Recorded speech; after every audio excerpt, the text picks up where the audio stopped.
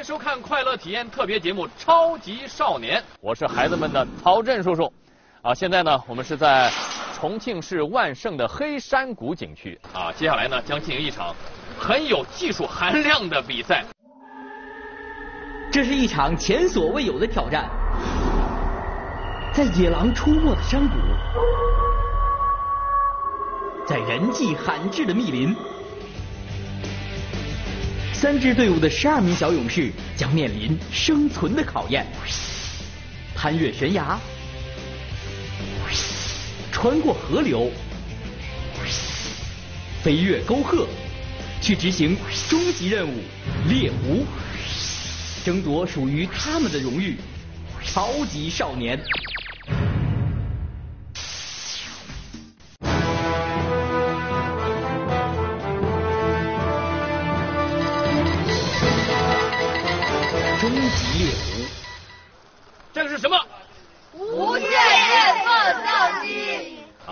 线电测向机或者叫无线电测向仪。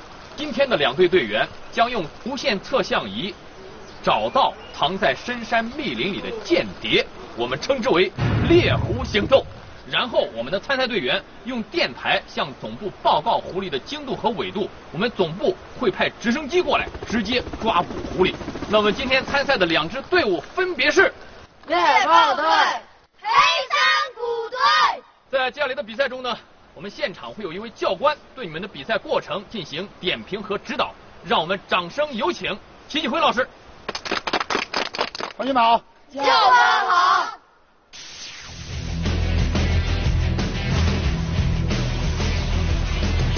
齐继辉，中国无线电测向队主教练。狭路相逢，勇者胜。一起进入第一回合的比赛。加油！第一回合，穿越峡谷。情报显示，一名间谍正在某区进行非法测绘。猎狐侦察小组必须在最短时间内找到这只狐狸，并通知基地进行抓捕。而且在穿越过程中，队员们还必须救下被困在索桥上的小黑叶猴。比赛规则：一、四名队员通过索桥穿越峡谷，并救助被困的小黑夜猴。二、每人救助一只小黑夜猴，掉下一次罚时二十秒。三、累计用时最短的队获胜。好，现在呢，两队的队员都已经严阵以待了啊。那在今天的比赛当中呢，不仅有深山密林，还会有河流，甚至悬崖。你们有信心完成比赛吗？有。好，接下来剪刀石头布，决定哪个先上，哪个后上。剪刀石头布。好，掌声鼓励黑山谷队比赛。我们是黑山谷队，我们的口号是挑战自我，突破极限，耶！重庆市万盛开发区体育学校，侯斌策、王征辉、梁小燕、肖阳坤。准备好了吗？对，开始。要想通过河流，队员们首先要依靠地图和指北针找到索桥的位置。对对，我我们走着。没事吧？往后贴就行了吗？快点，你往里边应该往这边走。应该往这边走。去往索桥的最佳路线只有一条，如果走错，将会耽误大量的时间。在队长侯宾特的带领下，黑山谷队很快到达了索桥。第一个穿越的是梁小燕。尽管在高低不平、前后摇晃的索桥上行走，梁小燕很害怕，但她成功的救助了小黑夜猴。一个人在索桥上行走就已经很困难了，再带上一只小黑夜猴，梁小燕的速度慢了下来。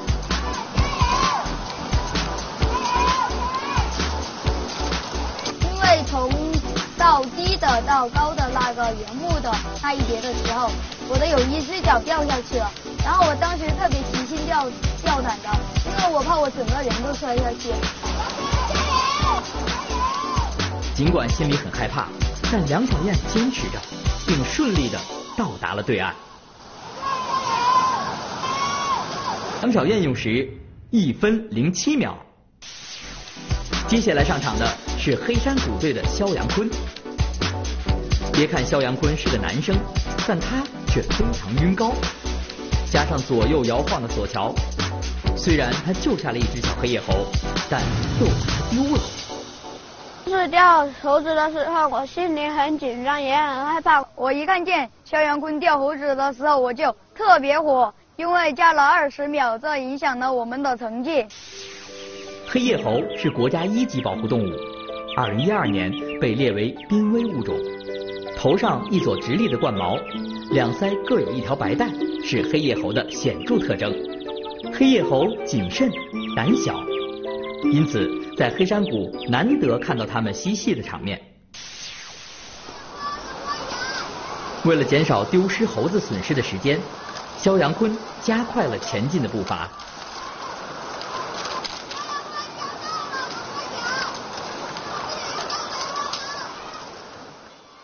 肖阳坤用时一分二十四秒。黑山谷队第三个上场的是王征辉。由于肖阳坤被罚时二十秒，因此黑山谷队面临的形势异常严峻起来。如果王征辉也失误，那么黑山谷队无疑要输掉第一回合的比赛。我看完肖阳坤把猴子掉的那个情景，我心里面非常着急，一心就想为肖阳坤把时间争取回来。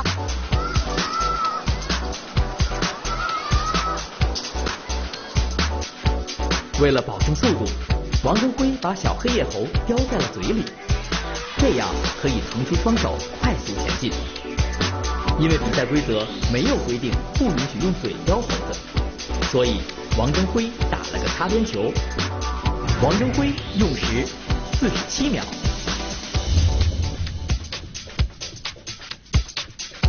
黑山谷队最后一个上场的是队长侯冰策。我是第四个出发的，因为我一看见这原木就很紧张，也很害怕。作为队长，侯斌策生怕自己出现失误，因为猎豹队还没有比赛。如果猎豹队也有一名队员出现失误，而自己能够顺利到达对岸，那么黑山谷队还有获胜的希望。可是侯斌策在救助小黑叶猴的时候，却出现了不应有的失误。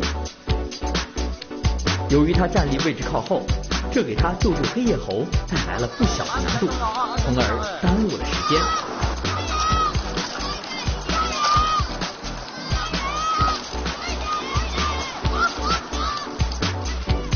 侯斌策用时一分零一秒。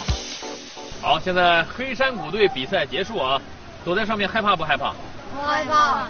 这个项目呢是每个队员单独比赛，所以呢就看每个人的成绩如何。单个人越快，整个团队也就越快。你们队最快的谁？王俊辉。啊，用了多久？四十七秒。好，四十七秒。我知道有一个同学速度非常慢，而且还出现了失误，是谁？肖阳坤。猴子掉了，为什么会掉呢？就是没拉住。好，这小猴掉了不要紧啊，又要加上二十秒的时间。本来你们团队的成绩是十三分四十九秒，现在变成了十四分零九秒。这个成绩觉得满意吗？不满意。满意。啊，猎豹队的队员身高比你们都高，应该速度比你们快，但是只有一个可能，如果他们出现更大的失误，就会比你们慢。看看他们的表现啊！猎豹队上场。开始。猎豹队的队员都是来自城市，他们能行吗？我们是猎豹队，我们的口号是一气九州，谁与争锋，耶！长春汽车开发区第九中学，李俊涵、李卓轩、王蒙、李佳宇。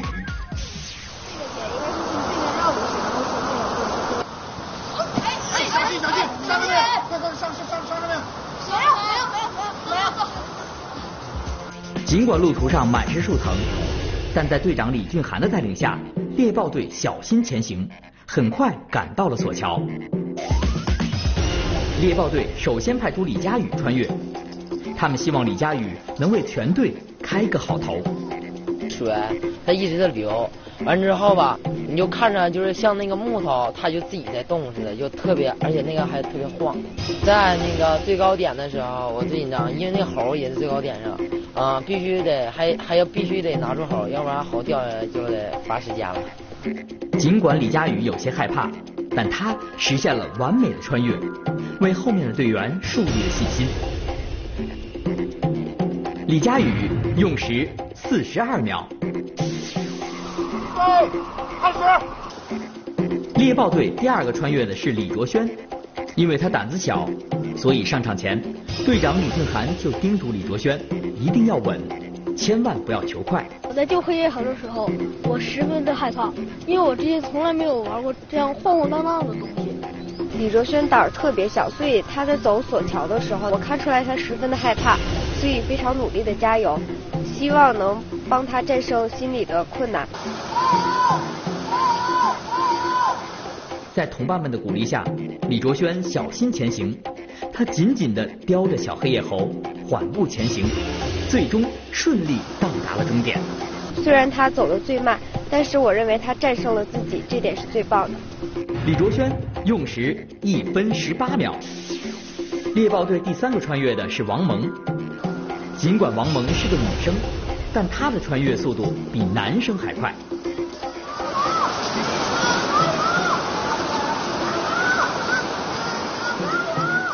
王蒙是猎豹队的替补队员，这是他第一次上场。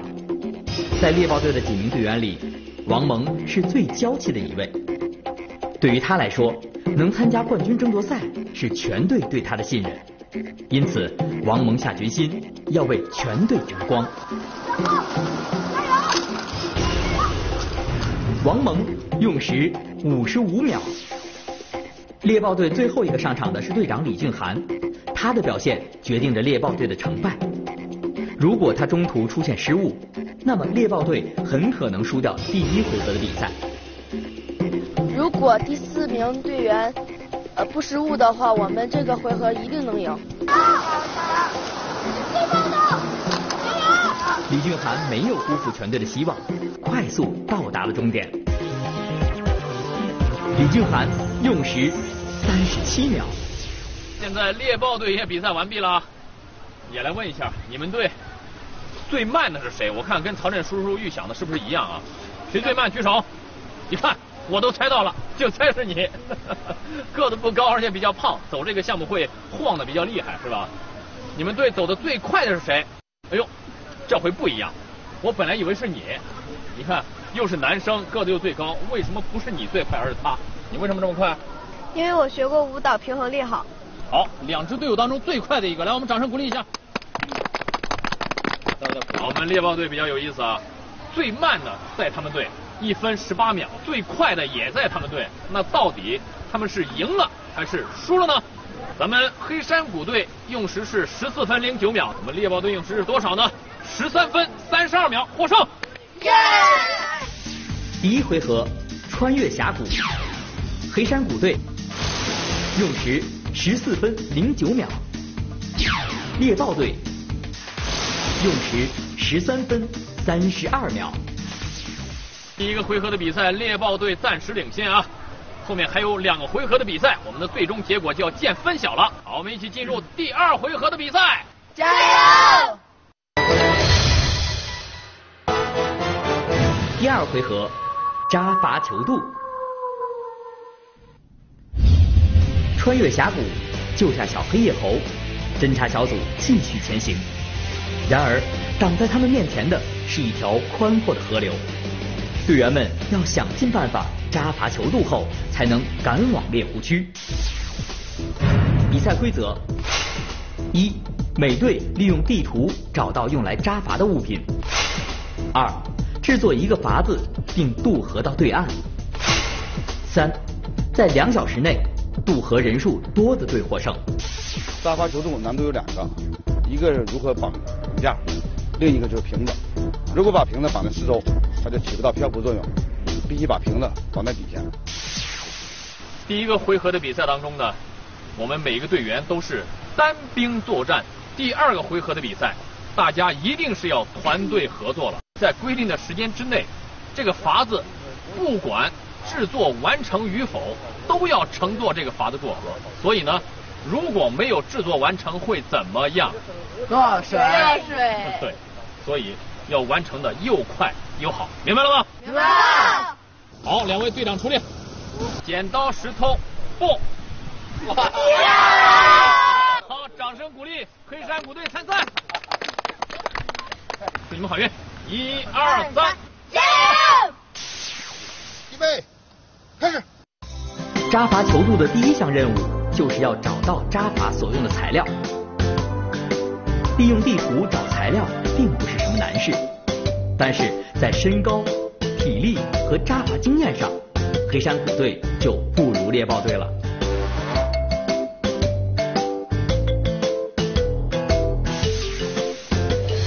扎筏材料有竹竿、空塑料瓶、木方、绳子、木板。黑山虎队很快找到了所有的材料，那么他们会怎样设计竹筏呢？我们先用两根粗竹子摆成十字架，这样可以起到稳定的作用。然后在上面分别放上细竹子，摆成网格的形状。然后再绑上绳子，绳子放的越多，浮力就会越大。黑山谷队的设计比较合理，但他们能实现吗？你搞快点剪呀！你在录着干什么嘛？你们先理好，红金后。对于如何扎筏子，几位男生完全没有经验，一脸的茫然。所有指挥、设计工作都落在了梁小燕的身上。梁小燕把队员分成两组，肖阳坤负责在瓶子上系绳子，剩下的三名队员负责绑骨架。绑的一定要记住要绑十字交叉交叉架，一定要多绕几圈，不然的话这个绝对。为了满足各队的设计要求，组委会为每个队分别准备了二十根粗竹竿、五百根细竹竿、六条木方、两块木板。和五百个大小不一的空塑料瓶。根据阿基米德定律计算，五百个空塑料瓶的浮力完全可以承载四个大人，更不要说承载四名队员了。对于参赛队来说，要想赢得比赛，除了竹筏结构设计要合理以外，还要分配好时间。因为比赛的总时间只有两个小时。如果扎筏的时间过长，那么渡河的时间就短，很可能造成还没有到达对岸，时间就耗尽的情况发生。而如果扎筏时间过短，就会造成捆绑的塑料瓶不够，竹筏承载力小的状况，这样渡河的队员就会减少。还有二十分钟时间，你们抓紧时间啊！由于黑山虎队是第一次扎筏子，没有一点经验，所以他们的进度非常缓慢。在搭竹筏的过程中，我们在系瓶子上花费了很长的时间，就是因为分工不明确。肖阳坤一个人在那儿系瓶子，我们在那儿绑瓶子。我们的瓶子绑完了，就坐在那儿干等，没有去帮肖阳坤系瓶子，就在这上面花费了很长的时间。黑山虎队剩下的时间已经不多了，他们决定绑上两根木板后就下水。然而，巨大的筏子沉重无比，他们费了好大的力气才把筏子抬到了水里。梁小燕第一个登上了筏子，当第三名队员登上筏子时，却出现了意外。当竹筏放在水里的时候，我觉得我们做的特别成功，然后我就第一个上去，上去的时候我觉得特别稳当，还没有沉。第二个人上去的时候。水只沉了一点一点，然后第当第三个人上去的时候，咱那个船那个竹筏一直在往下沉，我就急忙跳上岸去。为了避免获得零分，黑山谷队决定一次上两个人，送过去一人后再划回来接另一个人，这样每次送一名队员，三次就能完成任务。黑山谷队的失误在于，就是瓶子没有用完，结果导致只有两个人上上筏子。侯斌策和王征辉用力划着，争取快些回来，再接上一名队员。然而，当他们划到一半的时候，已经没有力气了。两位队员放弃了再回去接人的想法，最终顺利到达对岸。好，黑山谷队已经比完了。那这个回合的比赛呢，本来四名队员应该都上，你们只上了两个。哎，接下来该这个猎豹队比赛了，他们个子比你们高，相对来说呢，生活经验也比你们丰富。曹震叔叔认为，这个回合猎豹队肯定会赢，你们觉得呢？好，你看，不承认，但是心里肯定还不服气，哈哈。接下来呢，咱们看一下猎豹队的表现。预备，开始。尽管猎豹队还不知道黑山谷队的成绩，但他们信心满满，决心延续第一回合的辉煌，取得第二回合的胜利。这样三局两胜，他们就提前获得冠军了。与黑山谷队不同，猎豹队没有采用十字龙骨结构，而是用木方作为龙骨进行平铺，然后布满细竹子，最后才绑上废塑料瓶。在人员分配上，猎豹队也与黑山谷队不同，他们是两个人一组，分别负责给瓶子系绳和绑骨架。猎豹队的队员先是把绳子系在瓶口上，然后再系到竹竿上。这样的绑法不但不正确，而且耗费大量的时间。正确的捆绑方法是用两条绳子，一条系瓶口，另一条系瓶底，而且。捆绑时要借助瓶子的凹陷处，这样不但牢靠，而且效率也大大提高。赶紧的，没时间了，俩的连接在一起，这不就四个吗？你俩好好的，加油啊！你放心，咱们一定一定会成功的，加油加油！千万句别去互相埋怨，要不然。负责捆绑瓶子的王蒙和李卓轩因为捆绑方法问题而相互埋怨。对于一个团队来说，遇到问题要想解决问题的办法，而不是互相埋怨。只有这样，才有可能取得最终的胜利。还有最后十分钟，抓紧啊！猎豹队在捆绑骨架及瓶子上耗费了大量的时间，以至于很多已经绑好绳子的塑料瓶都没用上。为了赶时间，他们只好舍弃塑料瓶，抓紧时间上板。在扎筏的时候，我们的失误主要在于。没有考虑好这个筏子的浮力分配，把一边的浮力弄得太大了，而另一边就弄得太重了。猎豹队的布局很好，但是也有两个失误，一个就是瓶子没有用完，第二个失误就是板没有固定住。在没有捆绑足够塑料瓶的情况下，能否顺利完成渡河任务，猎豹队谁的心里都没底。当两名队员登上漂浮筏后，漂浮筏开始慢慢倾斜。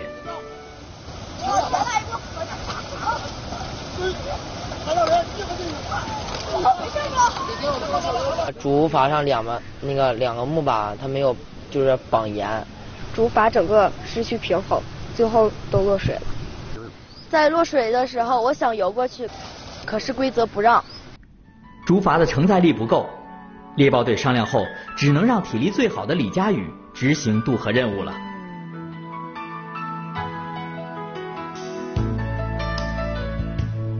最终，猎豹队只有李佳宇一名队员到达了终点。好，现在猎豹队也比赛结束了。本来咱们比赛规则是这样规定的：如果两队的四个队员都过去，看谁的速度快，谁就赢了；如果呢都没有过去，就看哪个队上的队员多，他就赢了。之前我们的黑山谷队上了两名队员，猎豹队本来呢我还说你们有优势，生活经验比较丰富一些。但是呢，你们竹排没制作好的情况下，优势变成劣势了。所以呢，这个回合获胜的是黑山谷队，恭喜你们！第二回合扎筏求渡，黑山谷队成功渡河两人，猎豹队成功渡河一人。好，现在双方可以说是势均力敌啊，两个回合的比赛各赢一个回合。那第三个回合，咱们就要完成咱们的主要任务猎狐了。看看，究竟谁能笑到最后？好，一起进入最后一个回合的比赛。加油！第三回合，终极猎狐。接下来呢，我们要真正完成我们这个最重要的任务了，叫做终极猎狐。好，要猎狐了。现在大家已经渡过了一片河流，进入了一片密林，非法测绘的狐狸就在这一片密林当中啊。接下来呢，我们这个两个队的队员要通过手里的无线电测向仪找到狐狸的位置，然后呢，通过发报机向总部报告，总部就派直升机来抓住这只狐狸。两个队长出列，剪刀石头布，剪刀石头布，耶！好，我们掌声鼓励黑山谷队参赛。比赛规则：一、队员通过测向仪找到狐狸；二、利用电台向基地报告狐狸的坐标；三、用时最短的队获胜。终极猎狐难度有两个，一个就是信号它不同时发射，它有时有时无；第二个难度就是有一个真狐狸，两个假狐狸，如果找错，它就会耽误时间。现在我们的黑山谷队要出发去猎狐了啊！问一下我们小燕同学，具体这个是怎么用的？你怎么判断要朝哪个方向走呢？移动这个无线电摄像机，然后嗯哪根声音大，我们就朝哪个方向你你会戴耳机是吗？对。好，戴一个耳机，哪哪个方向的声音大就朝哪个方向走。比如说，狐狸在前面，这个声音就大；如果朝这边的话，声音就小，是吗？是。好，但是呢，这片密林当中并不是只有一个狐狸，我们还安排了两个假的狐狸，有两个假的信号源，这样就会出现一个什么情况呢？找错。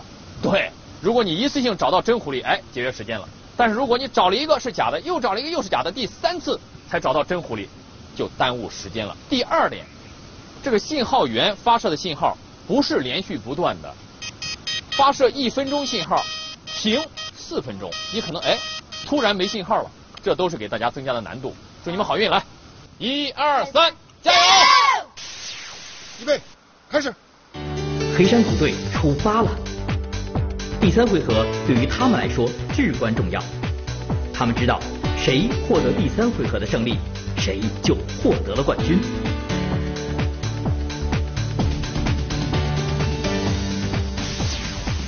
根据地形来看，寻找狐狸的最佳路线只有一条，而且还要面对假狐狸信号的干扰。面对经验比自己丰富的猎豹队，黑山谷队能实现自己的愿望吗？根据信号的强弱，黑山谷队向着真狐狸的大致方向靠拢。信号没了怎么办呢？等，是不是咱们走错了？当信号再次出现的时候，黑山谷队快速向前搜索。然而这次他们听到的是假狐狸的信号。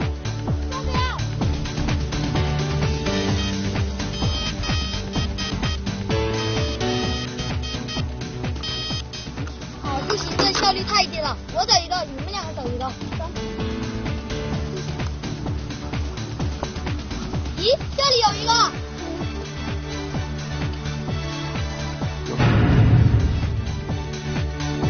通过监听，黑山谷队判断狐狸在河对岸，于是他们再次涉水过河。然而，他们刚刚过河，狐狸的信号就又一次消失了。我听不到声音了，怎么了？到底往哪边走？你那边有信号没有？有。强不？有点强。你们听到声音了吗？我听到了。哎，我觉得应该在这里。尽管黑山谷队离信号越来越近了，但是因为他们混淆了真假狐狸的信号特征，所以他们找到的第二个狐狸还是假狐狸。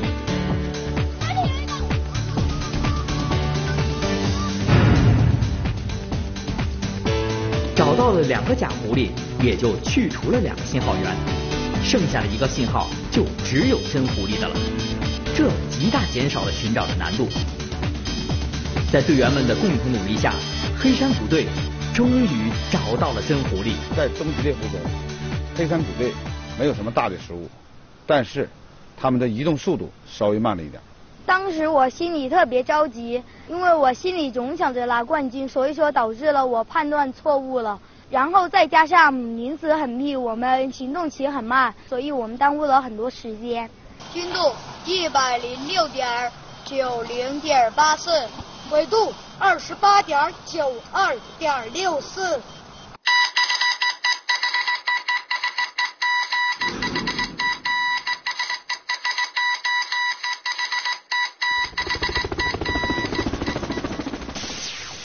好，现在黑山谷队回来了。黑山谷队最终用时是二十三分二十四秒，满意吗？满意。这就满意了。好，咱们就看看猎豹队比你们快还是比你们慢，好吗？来，猎豹队上场。预备，开始。在第二回合中，猎豹队意外的输给了比自己小的黑山谷队，这让队长李俊涵的压力剧增。过河，快！公园慢点。这样子，这个呢？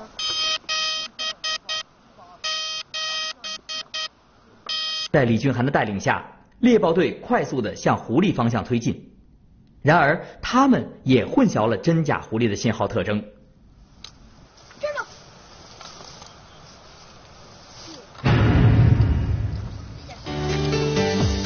去除一个假狐狸，猎豹队迅速向下一个目标靠拢。慢点，慢点，就慢点。慢点，这是个下坡，就是这个小小的斜坡，让猎豹队耽误了不少的时间。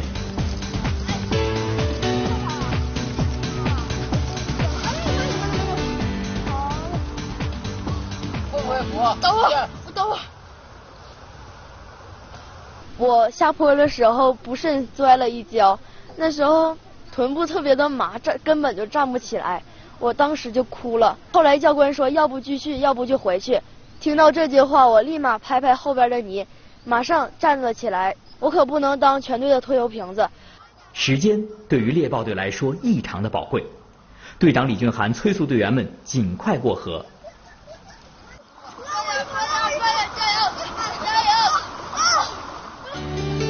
为了节省时间，到达对岸后，李俊涵迅速开始布置任务。咱们分成两组包抄，李周轩、李佳宇一组，我跟王萌一组，然后开始往那个方位行进。你们两个从这条小道往这边走，我们两个从这条小道走，OK？快快快，Go Go Go Go！李俊涵采取的是寻找电台的最佳策略，通过交叉法就能很快确定狐狸的位置。然而，由于李卓轩粗心，他与第二只假狐狸擦肩而过。经过几次反复寻找，猎豹队终于找到了这只假狐狸。这里找着了，找了找着了。猎豹队再找七号假狐狸是耽误了时间。七号才是个假狐狸，我都已经走过去了，就知道他在附近，然后我就走走走走走，走到了别的地方，然后我后来又兜了回来，所以我有一点担心我们是否不能得到第一。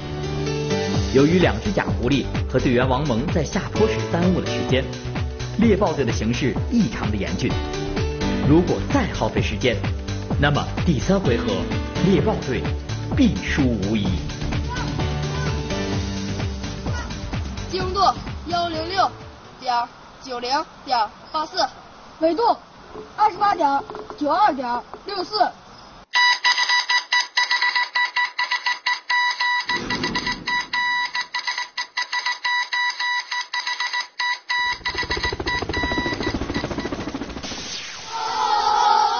好了，同学们，接下来呢就要揭晓最后的结果了。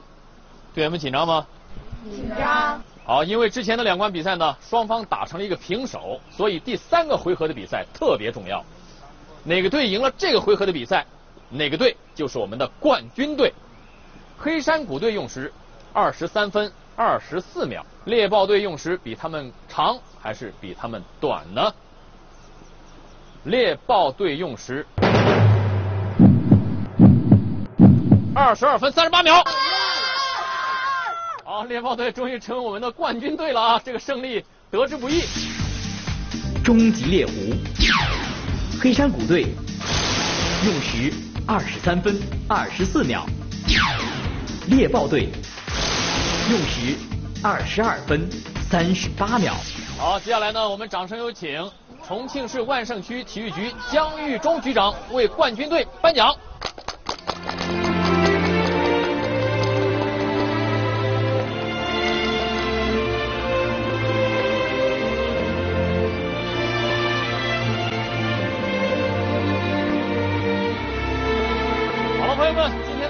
这里就结束了。我是孩子们的曹振叔叔，下期节目再见。